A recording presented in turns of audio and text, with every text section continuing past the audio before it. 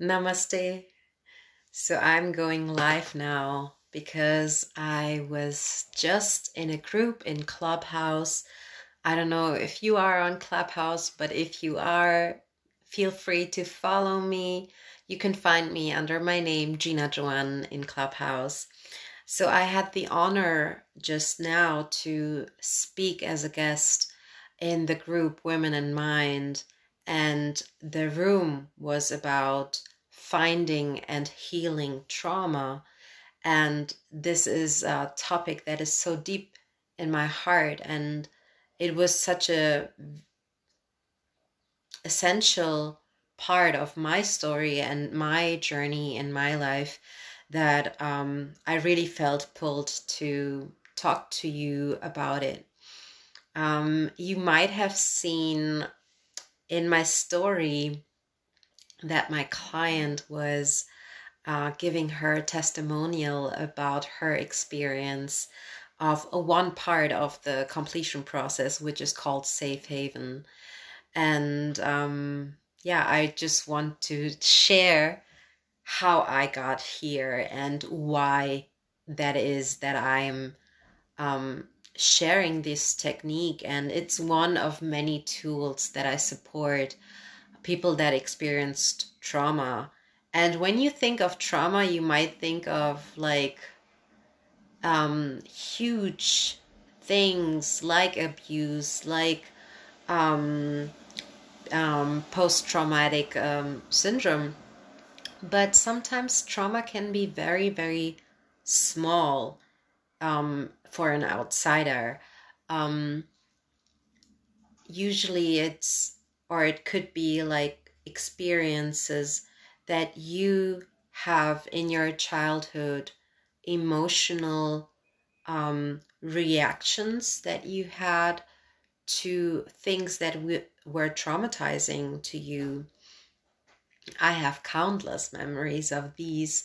Um, especially growing up in a household, there was a lot of violence, a lot of verbal violence and physical violence. And that is something when you grow up with it, then it could be you normalize it. You don't even think it was that bad or something like that. And that's what why I'm sharing it now. Then that you might have a situation that you experienced and that is stored in your body that is traumatic. And your brain is storing the trauma and what i just learned and or relearned as well and and brought into memory again is that because of the trauma that you store it in the part of your brain that doesn't store it as a past memory it actually it stays alive. It is trapped in the part of the brain that keeps it in the present moment. So even if that traumatic event happened like 10 20 30 years ago um, it's still stored in the part of the brain that keeps it in the present moment. So you go through life with while you're experiencing the trauma over and over and over again and you're stuck there. And something that the completion process does is that it goes back to your body. We um, look and scan through your body where um, the emotion is trapped, and we help. I support you and facilitate this um, room, this atmosphere, this space for you to feel safe and trust that you are able to tap into that and go back into feeling it and go back into release the emotion that was stuck. And it and it and it can have different forms. It can have different shades or color and different emotions that will come up. Um, and the, the great thing about it is that you get to reframe what was stored because it's also a story, a story that you tell yourself from the perspective that you were in. But we can go back and we can have empathy for your inner child, for example. We can go back and look what you were actually responsible for and what you were not. And to really take off the load and take off the the shame the guilt the um, sadness and be able to go through that and feel it and listen to the message that those feelings that we usually try to avoid, we try to run away from it. Yeah. But those have really important messages for us. You wouldn't be the person that you are if you wouldn't have gone through the experience and something that is um, I have just recently also learned is that empaths aren't born but they are formed by the the environment that they were in. Yeah for example me as a child i had to really be aware of what was happening emotionally with the other people in my family in order to keep myself safe emotionally safe physically safe.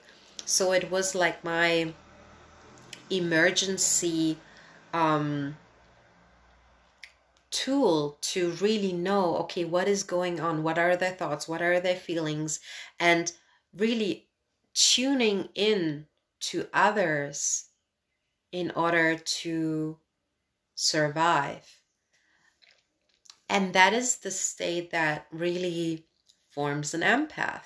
Um, today i'm so grateful that i have these I, I consider myself a high sensitive person, that I have these gifts that I can really detect the way others are feeling because this is actually my guidance system to be able to guide others through their completion process and why is it necessary necessary to to actually go to through a completion process because trauma is trapped and when your experience is any similar to mine, then it could be that the trauma affects you in this way that actually you have a memory loss.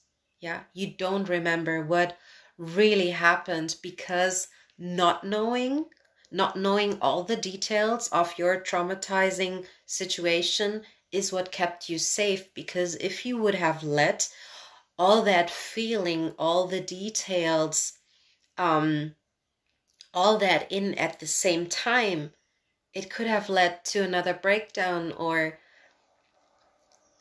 there is a reason why your brain is not letting you experience all that uh, in that moment.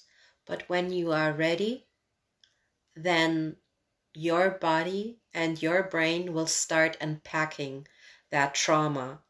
And suddenly you can have, for example, anxiety or you are incapable of moving or you have trouble with um, breathing and it, it has so many different forms but you're not actually leading it back to the the original experience the original source of that reaction because it's it it happened maybe way back then. So what i do is like i basically hold your hand even if we're on a digital form um, online i create a space for you to have the trust and the security to really go in trust yourself trust me as your facilitator that we are able, yeah, and you are, you have the tools that you need to go there and to unpack it. Yeah. I got a beautiful nickname by a friend of mine, and he called me the lighthouse. And I felt so seen when he told me that. And I can identify with it so much because I feel this is why I have gone through all the darkness in my life in order to find the light within myself. And because I have found this light within myself, I get to be the lighthouse for so many. So if you are experiencing darkness, your dark days, or maybe even the the dark night of the uh, I'm saying it wrong, but you know what I mean. The dark night of the soul. If you're experiencing that and you are scared, if you're fearing for your life, for your health, for your mental health, then this is the situation where you want to really reach out, let others know, and let others support you in that. You don't have to go through it alone. I am so deeply grateful for all the facilitators that helped me go through the completion process and integrate those those parts of me that fell away from me, that fell apart, or that I tried to disidentify with because it wasn't seen as wanted.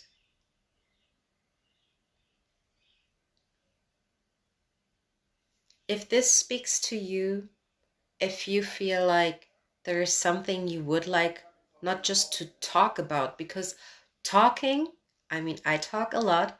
Talking for me is cathartic for sure, but I experience that only the level of talking doesn't really go deep enough to have access to the emotional body.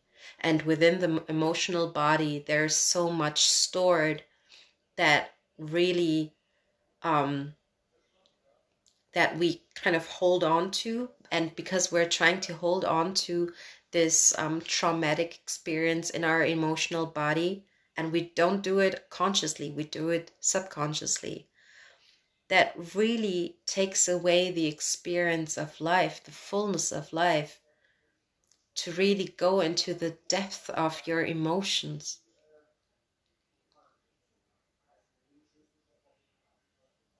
for me it's an absolute honor I I'm so grateful to have clients who trust in me and allow themselves to be vulnerable with me. And I guess as a coach, you know, I can only take you so far as I have gone myself and have gone through darkness. I have gone through my dark days and there have been many I have experienced the toxic relationship, I have experienced with narcissist. I saw the codependency that I had within me that really drew in all the narcissistic people. Yeah. I had to learn my own boundaries. And I had to learn to say yes to say yes to me and to say no to everything that wasn't me. I hope that you could take away um, a lot of things, and even if it's just like talking about what you have experienced with someone you love, you trust, and that is able to, who's able to really be there for you if you don't have someone or if you feel like I could be that someone for you, it would be my absolute honor. Um, I'm waiting here for you to reach out. Um, I will do these um, videos um, um, as often as I'm able to uh, and whenever I feel inspired to. I want to um, invite you also to um, my comeback program, which is going to start at the end of June. So, if you are a woman, I have uh, spaces for 10 wonderful women who are ready to activate their chakras. So, if you um, have a block in your energy, you want the energy to really move again. And I want you to have your root chakra really grounded to feel the security and the safety and the stability that you can give to yourself. I want you to activate your sacral chakra to have the ability to really express your emotions and really tap into the water of yourself. I want you to activate your solar plexus so you have the discipline and also the focus to really bring your feelings and your ideas into action and move. And I want you to do it from an activated heart chakra to really be able to feel the not just the feeling of love for yourself but the love for others as well. I want you to activate your throat chakra to be able to communicate who you are as a human being so you share with others what you have to give. I want you to activate your intuition, your third eye to get the messages from within yourself for me, I can say that listening to my intuition has probably saved my life, has definitely saved me from a toxic relationship. And I want you to activate your crown chakra to really be the queen that you are and to be able to let the energy flow from the universe, from source, through you. And if you are ready to have this experience, if you are ready to feel like you're coming back to you, coming back to your soul, coming back to your mind, coming back to who you are, but also being able to get your potential out there into this world and really show the world who you are then the comeback program is the right thing for you. I'm really happy to have been able to share this with you, to be able to have these uh, programs in order to support you. All I need from you is a DM. Let me know if you're interested. Let's have a conversation. Let's see if I can help you and how I can help you because I'm I'm not going to work with everybody. We have to be a fit. We have to match in our energy. And you have to be willing to work. Yeah, you have to put in the work. All I do is support, but it's your responsibility, just as it was my own responsibility, to really have a good look into myself and really see my light, but also my shadow and because I've been able to see my shadow, I've been able to really bring awareness to my shadow and therefore bring it into the light. Okay, this is it from me. Namaste. Have a great day and talk to you soon.